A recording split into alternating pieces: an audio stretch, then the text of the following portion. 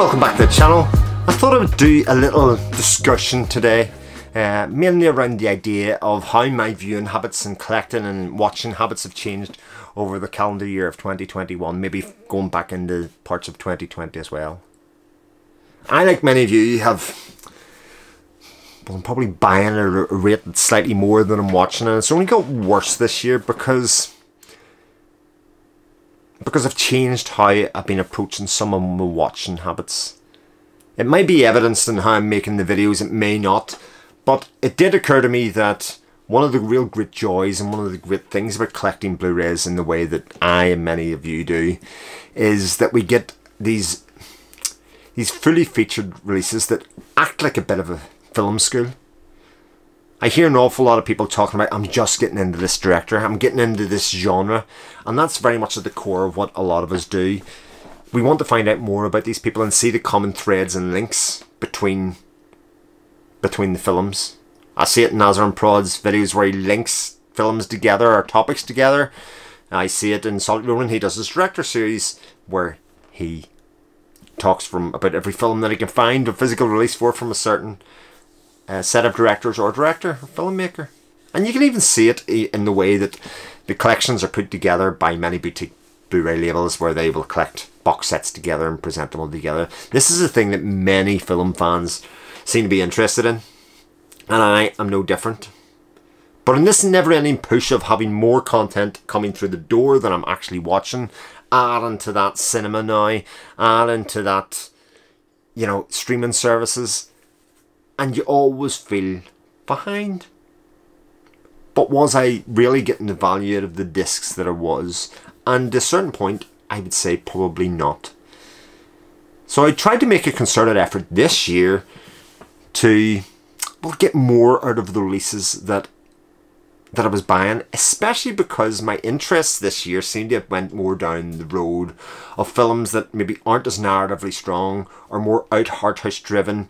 I've probably talked about more Second Run, for instance, this year and BFI this year than, than I've done in previous years, and it definitely is an area of interest for me with film making that runs alongside this other side of my film journey this year, which has been I have a 13 year old daughter that's starting to get interested in cinema and she likes to go to the cinema and of course her films that she likes to go and see or talk about are the big action blockbusters. They are the likes of the horror films.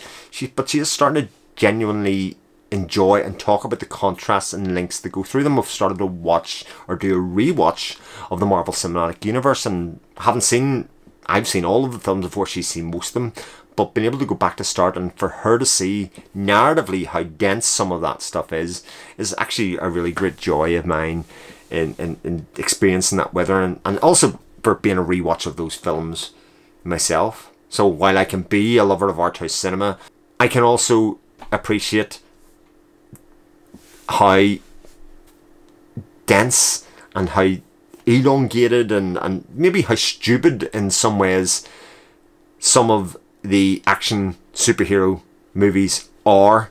They're all three to four star movies in my, in my, in my view. They're all enjoyable. I enjoy going to the cinema and, and, passing my time and watching that and discussing it with my daughter afterwards because like many other people and the reason that I make this these videos as well is to create a conversation with people about the films that I've watched. Not everything has to be high art. Not everything is as enjoyable that's the same level. Having a mixture for me is what makes this all worthwhile. So this year, I'm going to be logging through this year. I'm recording this on the 8th of August. I'll probably throw this up soon afterwards. I have watched 124 films. Now some of those aren't streaming, some of those are re-watches, some of those are in the cinema. But what I've tried to do is rinse a lot of the content that's put on these discs more try and read all the booklets. Read all the booklets as I'm listening to an interview with the director or something else that's going on. Trying to get into the nuts and bolts about what a certain film is and why some people have reference for it. I'll give you an example. I've been making my way through this weekend uh, the BFI release of Radio On. Now Radio On as a, as a film isn't much of a narrative film. It loosely tells the story of a DJ who goes to find out the nature of his brother's death and the circumstances and the people that were involved with his brother when he died. Set on the background of being a road movie and also on what is very loosely a showcase for some of the artists and music that were around at that time. It feels like a bit of a dream project for for somebody and it comes across like that. Now on first watch there are parts of it that are narratively slow, there doesn't seem to be much happening, it's very stylized. But there's a reason that a lot of people were excited about this coming out and sure enough the BFI disc has that. It has the booklet. BFI always do three essays on them, and I haven't made my way through that yet, but I'm still, like I say, I'm still working my way through this disc.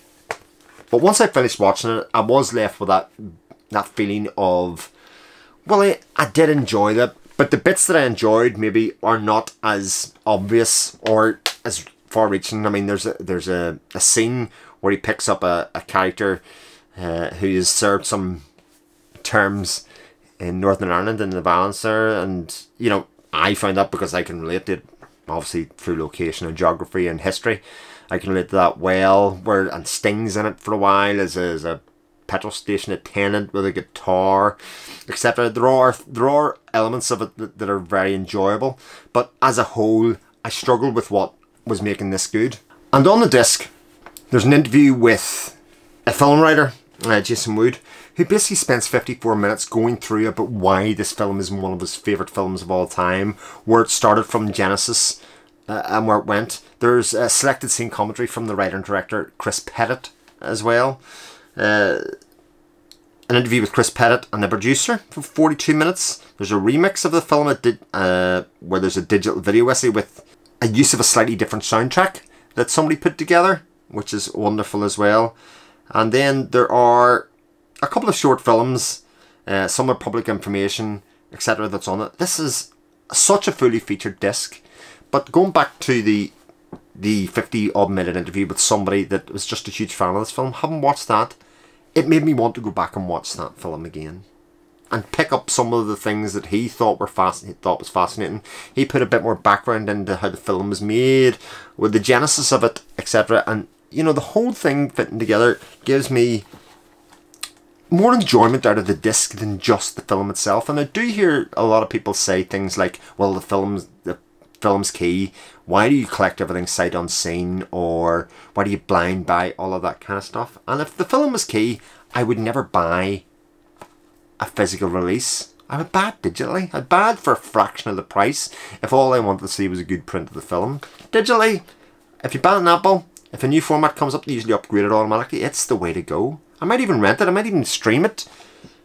But if I'd have done that with Radio On, I wouldn't have enjoyed that film. That film would not be in the memory as much as it was. And it does slow down my film making. I'm probably about 100 films down on what I was at this time last year as far as films. But I enjoyed getting my teeth into a lot of these releases. And it does make me look at when I'm purchasing things to say, I don't just want a vanilla release of something.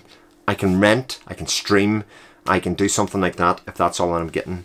What are the releases that are expounding upon the themes that are in this? Give me a sense of the environment at the time or the characters that were involved in making this.